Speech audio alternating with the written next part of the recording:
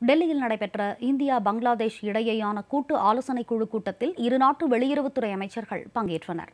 India மற்றும் வங்கதேசம் இடையேயான கூட்டு ஆலோசனைக் குழுவின் ஏழாவது சுற்று பேச்சுவார்த்தை டெல்லியில் நடைபெற்றது. வங்கதேச வெளியுறவுத்துறை அமைச்சர் ஏ கே அப்துல் மோமன் மத்திய வெளியுறவுத்துறை அமைச்சர் டாக்டர் எஸ் ஜெய்சங்கர் ஆகியோர் தலைமையில் இந்த கூட்டம் நடைபெற்றது. டாக்டர் எஸ் ஜெய்சங்கர் பேசியபோது இந்தியாவின் மிகப்பெரிய வளர்ச்சி மற்றும் வர்த்தக கூட்டாளியாக பங்களாதேஷ் திகழ்வதாக குறிப்பிட்டார். தடுப்பூசி மருந்து விநியோகம் போன்றவற்றில் இணைந்து கொரோனா தொற்றை முறியடித்துள்ளோம் என கூறினார். இணைய பாதுகாப்பு ரயில்வேயின் மேம்படுத்தல் உள்ளிட்ட புதிய களங்களுக்கு உறவுகளை எடுத்துச் செல்ல பங்களாதேஷ் நாட்டுடன் இணைந்து பணியாற்ற இந்தியா தயாராக இருப்பதாக டாக்டர் எஸ். ஜெய்சங்கர் தெரிவித்தார். கூட்டத்தில் பேசிய ஏ. கே. அப்துல் மோமன் அண்டை நாடான இந்தியா பிராந்தியம் முழுவதும் ஸ்திரத்தன்மை மற்றும் வளர்ச்சியை அடைய உதவியதாக தெரிவித்தார்.